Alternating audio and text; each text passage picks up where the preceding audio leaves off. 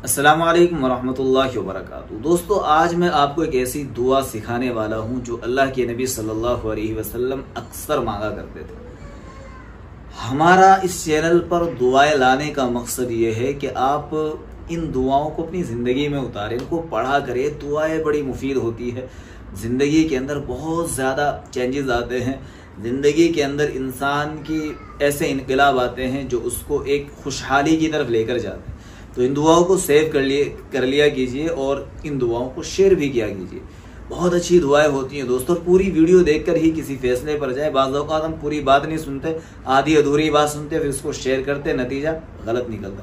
पूरी बात सुना करें।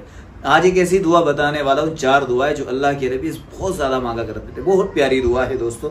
सही मुस्लिम और सही बुखारी दोनों के अंदर ये दुआ मौजूद है।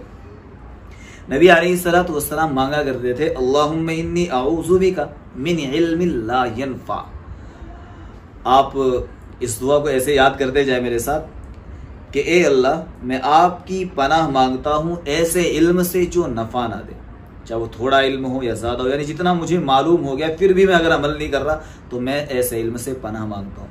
यानी अल्लाह मुझे ऐसा इल्म दे कि जिस पर मैं अमल कर सकूँ। ये मतलब हुआ। दूसरी दुआ, वमिन कल्बिल्ला यक्षा और ऐसे दिल से जो ना डरे। यानी ऐसा सख्त दिल के अल्लाह जो तुझसे ही ना डरे, मैं पनाह माँगता हूँ तेरी। और आगे है मिन नफ्सिल्ला तशबा और ऐसे नफ्स से जो शेर ना हो। यानी नफ्स की आवारगी से। नफ्स आवारा हो जाता है। तो उससे भी अल्लाह मैं तेरी पनाह माँगता हूँ या तेरी पनाह मांगती हूँ। और चौथा है, वमिन दावतिल्ला जो सजाब रहा और ऐसी दुआ से जो कबूल ना हो। यानी इसमें इंसान कह रहा है कि अल्लाह मैं पना माँगता हूँ आपसे, ऐसी दुआ से मैं ये दुआ मांग रहा हूँ, और आपके यहाँ वो कबूल नहीं हो रही।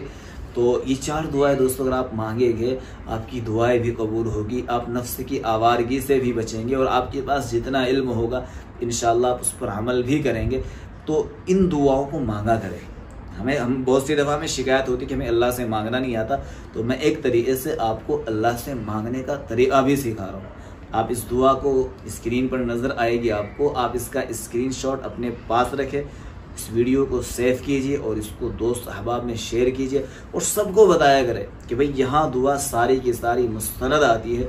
इन दुआओं को पढ़ा करें, इन दुआओं को अपने घरों में लाए, दुआओं की बरकत से शयातीन दज्जाल सारे निकल जाएँगे और अल्लाह के नेक और रहमत वाले फरिश्ते आपके घरों के अंदर आएँगे। और जब ये फरिश्ते आएँगे तो घरों के अंदर इन खुशहाली आएगी। तो इस दुआ को दोस्तों में शेयर ज़रूर करते जाए। अपनी दुआओं में याद रखना। असल वरहमल वर्क